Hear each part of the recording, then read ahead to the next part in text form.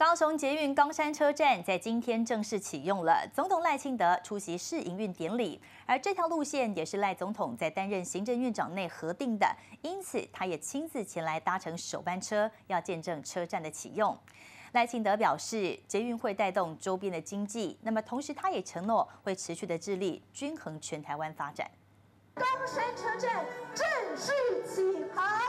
航。高雄捷运红线向北延伸至冈山车站，获得交通部核发营运许可，周日正式试营运开放民众搭乘。这条捷运路线是总统赖清德担任行政院长任内时核定，赖总统亲自出席活动。我做高雄的厝边台南啦吼，其实我嘛无想要考虑啦，咱这交通建设。是一个进步欢迎的城市，所一定爱具备的啦。路开到倒位，生意就到倒位，而且捷运吼更加唔免讲。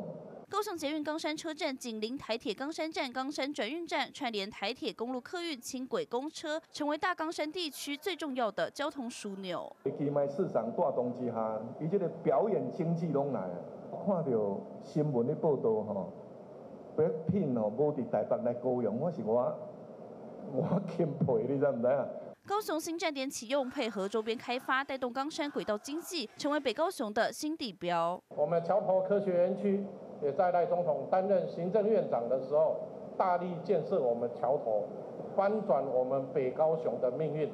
再加上啊，我们整体的半导体的 S 廊带。冈山车站启用，周边居民更便利，也带动经济发展。如同赖总统承诺，致力均衡南北发展。记者简红、松吕思妹、李明宏，台北、高雄综合报道。